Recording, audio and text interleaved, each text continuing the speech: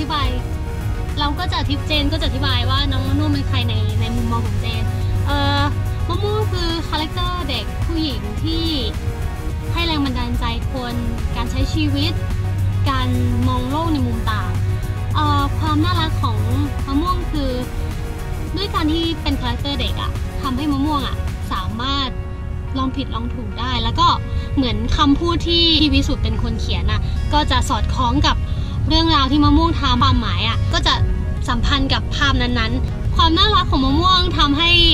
ผู้หญิงหลงรักน้องมะม่วงได้ง่ายด้วยความรู้สึกเจนคืออยู่กับผู้หญิง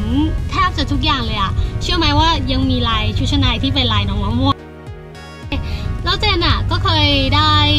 ร่วมกิจกรรมกับพี่วิสุทธ์คือช่วงนั้นวาดรูปเราให้เป็นแบบรูปพับเทนจะได้นั้นเป็นของที่ระลึกแล้วก็นำเงินส่วนหนึ่งบริจาค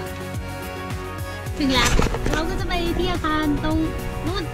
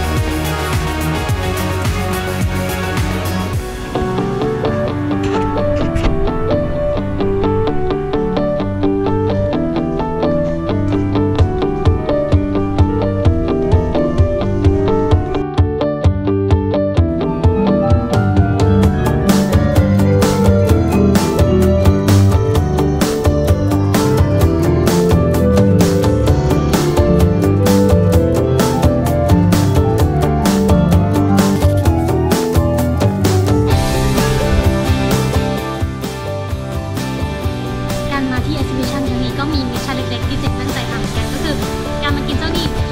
ก็ถ้ามากันสองคนก็อาจจะได้กินทั้งสองรสชาติก็คือ มันจะมีไอศครีมที่เป็น character